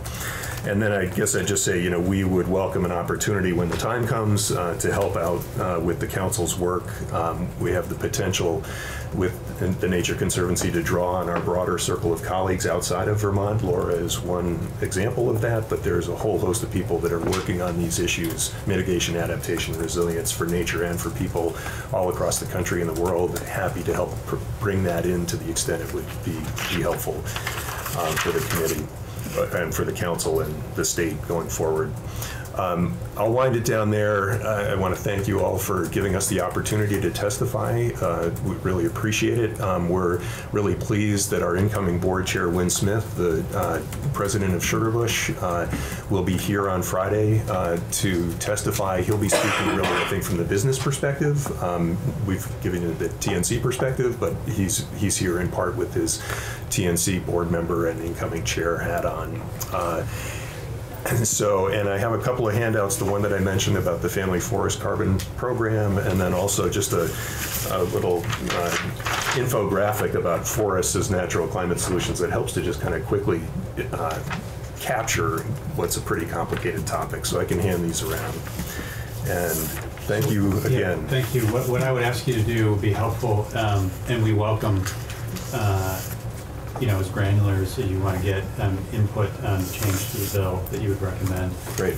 Um, it would be helpful if you could, um, pass that along to Danielle, just so we have, um, kind of a transcribed version of what your suggestions are. Happy to do that. I'll Um, get it to you by the end of the week. Would that be Sure. next? Okay. Yep, that's great. Great. Um, a question I had that I wasn't quite clear on, Laura, that you had mentioned earlier, in terms of how the Massachusetts um, Global Warming Solutions policy works with regard to um, sequestered carbon. Yeah. And how that does or would potentially contribute to the targets Right. that are embedded in that, um, in that law. Um, Right now, it doesn't. Yeah, I So, wouldn't think so natural and working land. So let's use forest for an example because we're mostly forested. So in the 1990 baseline document, we have a line that says this is the amount of forest carbon sequestration in the year 1990. Yep. This is the amount of forest carbon stock in the year 1990. This is the amount of emissions from harvesting and development and any other thing that we can measure in the year 1990. And then those numbers show up in the Global Warming Solutions Act document. But then there, I'm trying to be careful in how I say this because there's been a lot of action, even though they haven't been in there, but they're, they're gone then. So like in the, what are our emissions and where are we, you don't see that. Yep. So it's a little bit, that's kind of what I was trying to get at is like we put them in the baseline, which is really important, but then we sort of didn't put them throughout the rest of the bill in as integrated a way as I think we could. They're always off to the side as an asterisk. Yeah. So right now, and again, we couldn't count the baseline, but if we took action to cluster development and and convert fewer forests, that also is not included in. Um, well, that one is because it's reduced emissions from conversion, but there are things that we probably could count. They'll be very small, like we've said, that aren't, I think, fully incorporated. And it's one of the things that I, I don't envy the job of my uh, colleagues in the state agencies who are working on the 80 by 50 study because they decided in that to really try to wrap everything together, and it's proving difficult to do when you didn't do it from the beginning. Wrap everything together in terms of how. Lands. Okay, lands and this sequestration piece may fit. Right. So in the scope of the study, lands are now a sector. So there's a chapter on buildings, there's also a chapter on lands, and that's a shift from the way we did our original plan and documents. Okay. And just, I mean, as, as, this isn't a question, but just as a sidelight, um, uh, I was very interested to understand how New York approached this. Yes, And the work that they had done. Yep. And there seemed to be some flips and twists that they were doing to try and incorporate this. Yes. Um, Maine might be a better example. That was exactly my impression. Um, Yeah. So, yeah. okay. Yeah, Maine's doing, a I think, a really great. Maine's probably more analogous to Vermont anyway, In a lot and they're being very careful and I think very forward thinking about how they're looking at. You know, we ha- we have a lot of forests, we have not a lot of people. Like, how do we do this so that we're being honest? We're not cheating. We're not just saying, oh yeah, the forest, it's fine. We can emit whatever we want. But they're also really trying to like look at the opportunity in their forest and land sector and say, but we have room to grow here. Mm-hmm. We can do these things and then we'll count them in the following ways. Yeah, yeah. Scott and then Robbie. Um, Well, I was just going to say that uh, we didn't, uh, or or the bill doesn't, doesn't uh, name drawdown specifically as, as, as, as a goal. So we have, we have resilience, we have adaptation, and of course greenhouse gas emissions reduction, but we haven't, we haven't named drawdown as a, you know, sort of um, uh, by name. And, and so I guess I'm wondering whether you think that would be a valuable thing to do. Um, I mean, I am not an expert on this bill. I read it uh, to try to, and it, and I'm not actually a policy person, so I read it as well as I could to prep for this. It looks really good. I mean, I think the elements you ha- you need are there. I think my message is more. It's all about the implementation. You know, when you get past that and you have the bill and it's the climate council, that's where I think some of the lessons from Maine, from Massachusetts, could really help you. Um, so again, I didn't as a quick sort of layperson read of it, it from this topic, it seemed like the bill's language is, is every everything we need.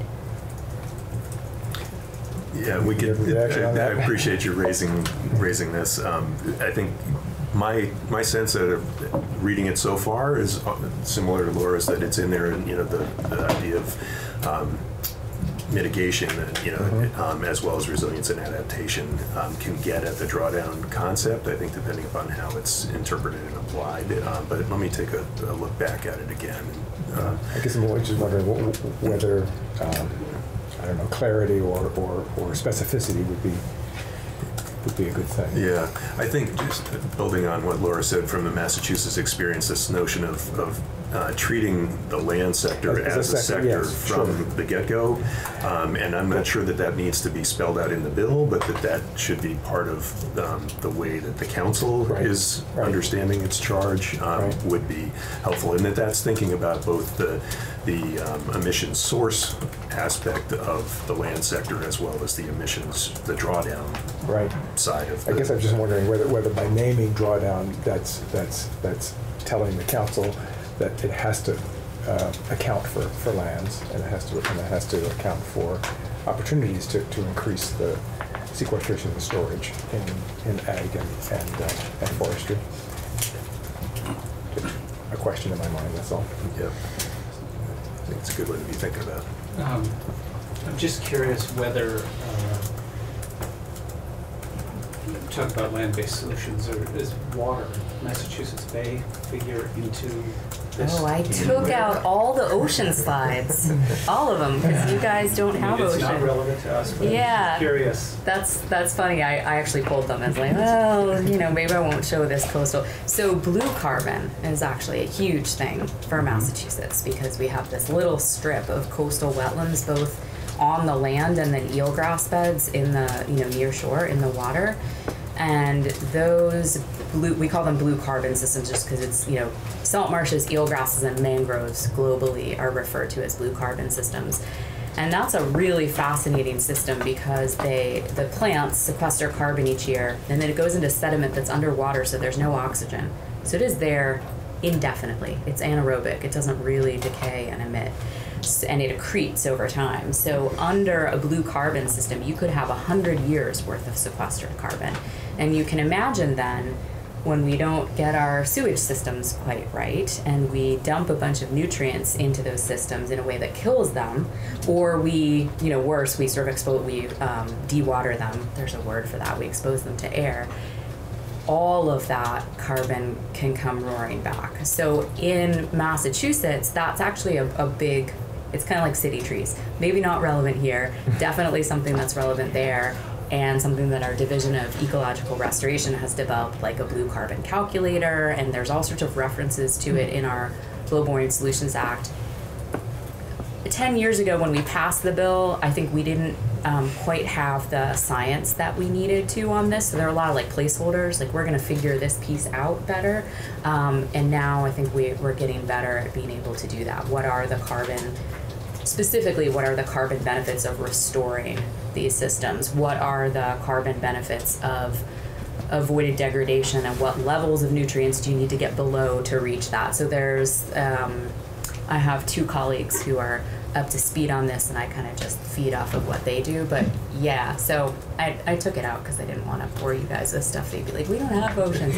But yes it's definitely relevant there And I might just add that although we don't have the marine blue carbon, do uh, we do have the, well, we do have the lake and, and basically freshwater uh, wetlands. Um, And as we were talking about before, just of the importance of those. And Yeah. they too are places where you get that long stored carbon in a largely uh, unoxygenated setting. So it, there isn't the decomposition and emissions going on. It just is accumulating in some of our wetlands, not all of them. Um, but so where there's that uh, great storage, um, and there's the risk of significant emissions if the wetlands are converted, essentially. So it's, you know, it- it's the other part, it's our part of the, the bigger picture of wetland-related uh, systems and their role in all of this. Absolutely. Does our lovely uh, milfoil absorb any, or is that completely useless? That, that's a good question. I mean, all plants absorb car. They they are carbon, right? And they're pulling it out, and that's how they are creating their uh, their fiber and their uh, you know uh, their structure. Um, So we're gonna plant milfoil. so that said, that said, You I, heard it you here know, please don't interpret please don't interpret this as an endorsement of milfoil. I don't want that on the record. Uh, uh, no, so I think you know that there are obviously major problems with that and other invasive plants, um, both aquatic and terrestrial. Uh, and although they are forms of carbon, as we are too, uh, they're big uh, ecological and uh, human-related problems that those uh, non-native species create. I would say, as a very general rule, there's less biomass in a monoculture or a system dominated by one species. Salt marshes may be the exception than a diverse system. So my hunch, not knowing much about milfoil, would be that it's similar to a lot of invasive plants where you're actually going to have a less favorable carbon balance in a system that's invaded by that than the native species that have you know divided all the niches and are adapted to being there. But um, I don't know much about that particular example. Thank you, guys. for- Oh, I'm sorry. Mark, I didn't want to cut you off. No, I just maybe would want to mention one other thing. I've talked to Phil about this before. Um, That fortunately, a good chunk of Vermont's land is privately owned. So again, when we say we or our land, we have to understand that there is a, a private sector ownership to this. So a lot of these programs, whether, you know, there was some discussion in the uh, sequestration group about, um, well, you know, maybe we could extend the cutting periods from a 10-year cycle to a 20-year cycle. Um, If that's the case, again, we have to consider uh, property owners that have to pay property taxes. And something that hasn't been mentioned is property taxes. And that's uh, kind of a leading cause of, of forest fragmentation or sell-off or Yeah. cutting. I mean, you know, uh, so I think that's, that's an important aspect as well to mention as far as uh, property taxes alone have a, have a critical role to play in, in what happens to Vermont's privately owned forests. And I think it's very analogous in central and western Mass where nearly, I mean, we have some state land, but it's mostly in very small, I mean, even smaller parcels than you guys have private ownership. And so any of these programs that are about um, supporting landowners as they do good silviculture, but maybe helping them with things that will have carbon benefits or protect soil or whatever are really designed around how do you incentivize those landowners to do it or at least reduce the cost. There's an analog to farming in Massachusetts where the state is looking at buying cover cropping equipment because small farmers can't afford the equipment to do the practice. They might they might actually be able to afford if they're selling some of the cover crop or it's increasing their yield the practice itself but not the equipment so there i think there are a lot of examples of that of sort of recognizing it has to make sense for the the landowner who similarly is struggling with really high rates of rate, really high values of the land for development and really low values of the land as, as forest. So getting that balance right is um, is relevant for us as well. Yeah, and, and I'll just add, yeah, I think, you know, the private lands are the predominance of the land ownership pattern uh, in Vermont, um, forest land and, and otherwise, and I think it's critical to try to figure out how to make this work essentially in a way that's helping to support private landowners and what it- I think the vast majority of them want to do, which is to continue to own and steward their lands uh, and help to figure out with incentives um, or with revenues that can be coming in from different sources, whether that's offset markets or whether it's some of the payment for practices kind of ideas that the Family Forest Carbon uh, Program is trying to get at. Um, and, you know, these are uh, you know, our landowners are scattered all around the state, but many of them are in uh, our rural parts of the state that are struggling economically, the vulnerability issues um, of individual landowners and, and of communities that are so critical. Uh, so if we get this, if we get this right, there will be an opportunity to use this as one part of a broader package of solutions that can be helping to deal with some of those really persistent pressing critical challenges, um, along with efforts to deal with the resilience uh, and reducing vulnerability, those sorts of things. Again, the role that our natural systems can play in helping to achieve that. Great. Terrific. Thank you, guys. Thank Yeah, you thank so you much very for much. your Really- time in really a hot, appreciate stuffy this. room. Yeah. Yeah. This is really We're doing our own anaerobic. Yeah. yeah. That's right. And, and I'll- guess I'll also just say thank you for the work that you're doing on this. Um, Realize like this is a lot of long uh, days of hearing from a lot of people um, in a small stuffy room, but the work that you're doing is really important and wherever this leads to. Uh, Anyway, just want to thank you on our behalf for leaning in and for everything else that you do here on behalf of Vermont. So, Thank you. Thanks. Thank you. Thank you.